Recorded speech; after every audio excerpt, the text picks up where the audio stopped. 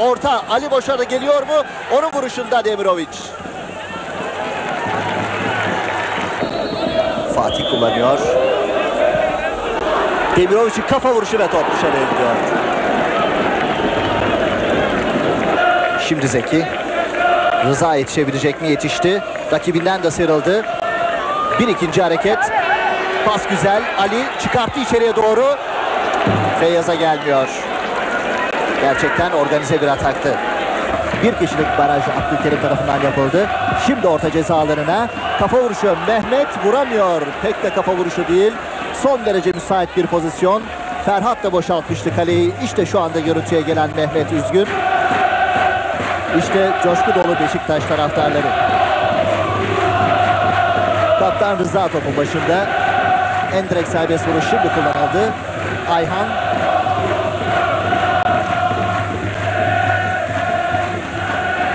köşe gönderden dönen top. Ali'nin ortası.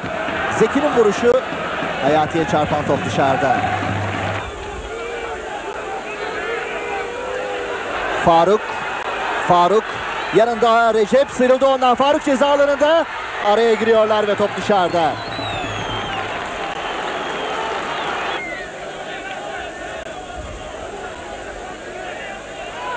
Mehmet.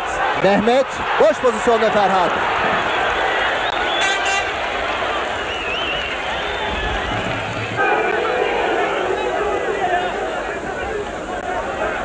Ali'den Feyyaz ceza alanına giriyor.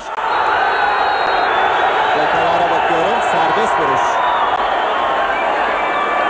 Bir hayli kritik bir nokta. Topun başında Sergen var. Sergen gel vuruşunu yaptı. Barajdan döndü. Tekrar Sergen. Zeki. Ve top dışarıda.